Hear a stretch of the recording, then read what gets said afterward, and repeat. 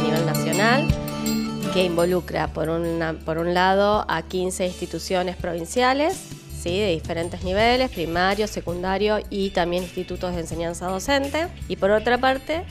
15 científicos, no solamente tienen que ser investigadores del CONICET, sino pueden ser investigadores de la universidad,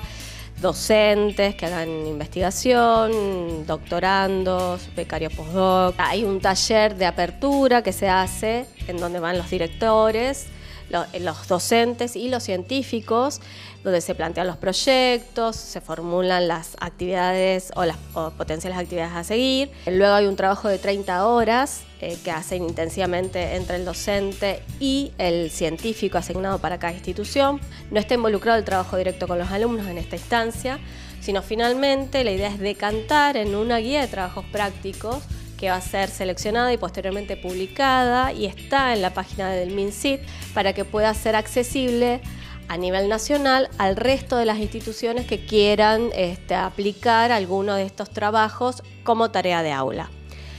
Al final del año, digamos, del trabajo,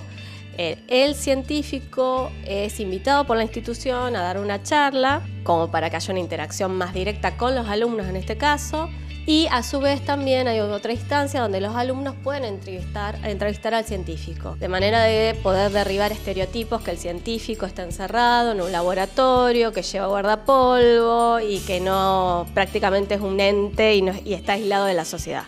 sino que es un ser, un actor social, digamos, no solamente que la disciplina lo aísla, sino que es una persona que como común, que como trabajo eh, está abocado justamente al desarrollo y a generación del conocimiento científico.